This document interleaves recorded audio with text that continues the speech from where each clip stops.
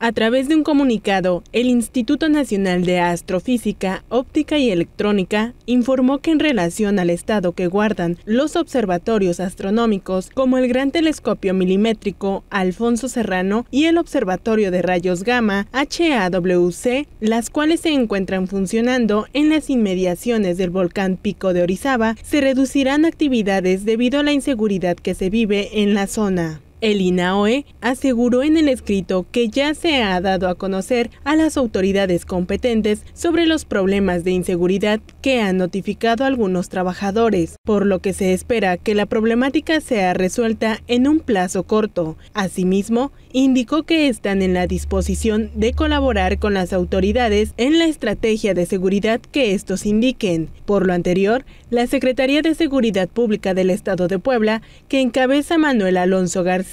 decidió mantener una reunión con científicos del Instituto Nacional de Astronomía, Óptica y Electricidad, a fin de reforzar la seguridad en la zona de ascenso y descenso del volcán Sierra Negra. Durante la reunión, se establecieron medidas de coordinación entre dicha instancia y elementos de la Policía Estatal, quienes, entre otras estrategias, darán acompañamiento a las unidades que transportarán a los científicos. Asimismo, se establecerán operativos en la zona a fin de determinar las rutas más adecuadas y se analizará a detalle el actuar de las personas que realizan actividades delictivas en el lugar.